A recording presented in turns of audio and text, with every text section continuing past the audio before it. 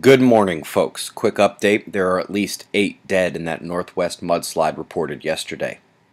We're starting with one of the newer animations from Goddard's Scientific Visualization Studio showing the extreme swings in temperature over the U.S. during January. A quote from the conference One of the worst winters for parts of this country contrasted a phenomenally warm Alaska.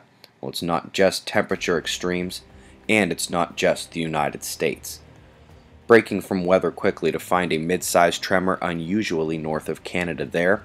Top watch zone remains the west coast of the Americas, especially with Chile taking the equivalent of a global average weekly pressure release just on its coastline alone. Petro spill back in Ohio. Residents have smelled it for days, apparently. Shellfish testing positive for PSP in New Zealand. Meanwhile, there are reports of flooding in southeastern Australia where you'll remember that tail tried to stay anchored back to Sydney. Not quite dead on that locale, but pretty close with the moisture visibly doing that crest of the South Island while holding on to the west for all it's got. Even further west, west of Australia, we have Gillian's remains, refusing to die. She is expected to go to the left, but will keep watch. The big cell we watched yesterday here did move in quickly. Weather shares from the convergence, please. Take a look at the drive around that dark low reinforced where it meets that high and white below. No major watches in this part of the world. Let your local forecasts and radar inform the evening situation. Earth took a gamma ray burst yesterday morning, came from way down south in the sky.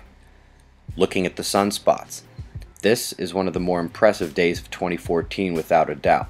Let's begin departing. The absolute lead is just a lone delta turning away. Meanwhile, behind it, we're seeing an excellent chance for magnetic mixing, but the umbras themselves needed to get it together and grow. Also, Earth's magnetic connectivity to the Sun is nearby. Then we have the primary CME watch, the active region with a big leading umbra and two spots of mixing, the backside of which might be small but technically the second delta spot I see.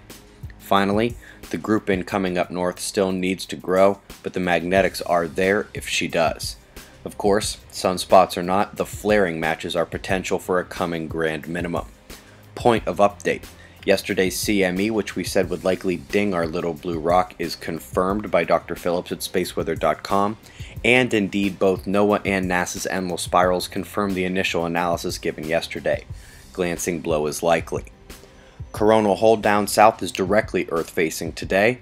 Again, the southernmost portion is the strongest, strong as they get. However, the moderate power to the north appears to be fairly unrestricted by umbral or coronal magnetic fields. Current conditions and shots of our star to close. Eyes open. No fear. It's 6:35 a.m. Eastern Time and that's the news. Be safe everyone.